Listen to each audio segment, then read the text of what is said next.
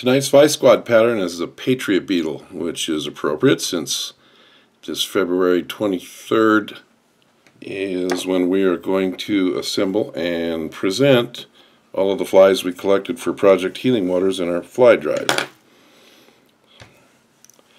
This beetle, although it looks like it's just red, white, and blue for patriotic sake, it's actually pretty good, pretty good color combination and the fish like it.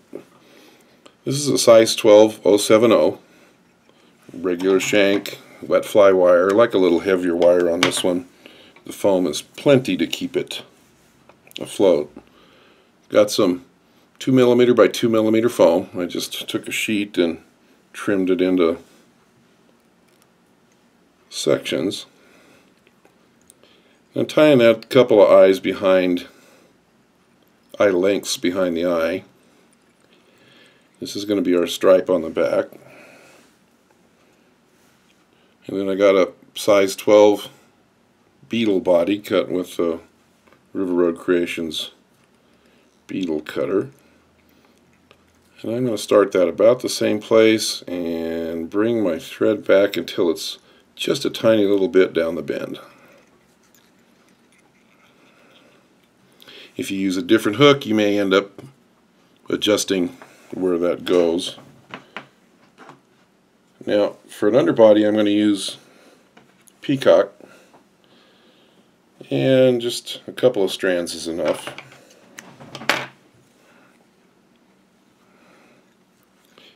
To get them good and plush, I tie them along the length of the body, and then wrap the two strands forward. And then when I get to the eye, I come back through everything, and at this point I'm trying to make it good and thick.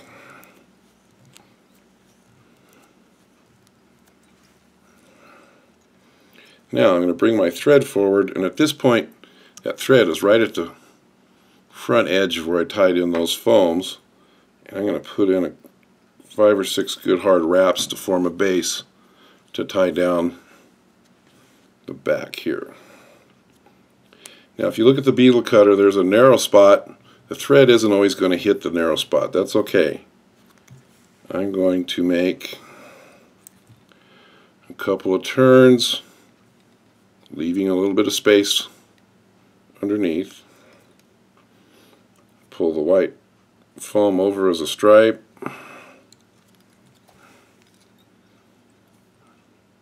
Now I don't go too tight because I don't want to cut the foam. So what I do is I'll lift it up and make a couple of security wraps right up on the hook.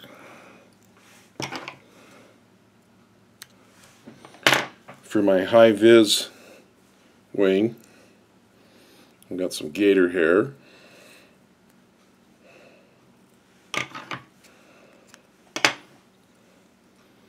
And what you've got in your kit is just enough for six or seven of these so tie it in by the tip like that and you won't have a whole lot of extra to trim. Now while I'm here I'm going to cut that at an angle. Looks a little neater when I fold it over.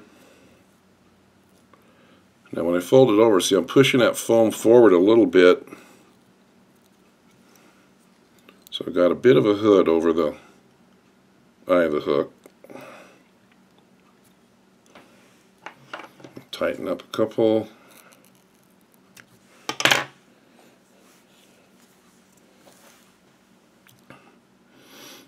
Now for legs, I've got Shaggy Dub. These things are just little spandex eyelashes, a couple inches long. And on the near side, I'm going to double it over.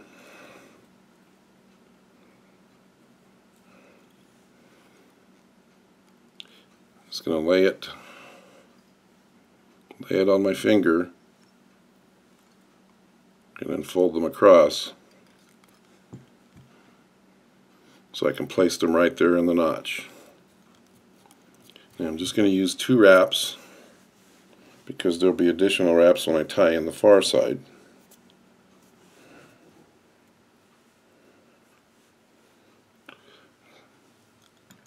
Now I'm going to turn this upside down so I can get to it, get it placed without any additional wraps on the on the thread here. I'm trying to keep it at a just the minimum it takes to hold all of that stuff together.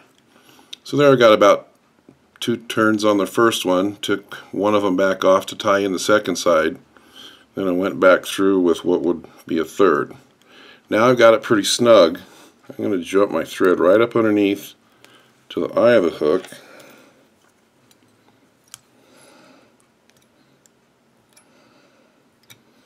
tie my whip knot.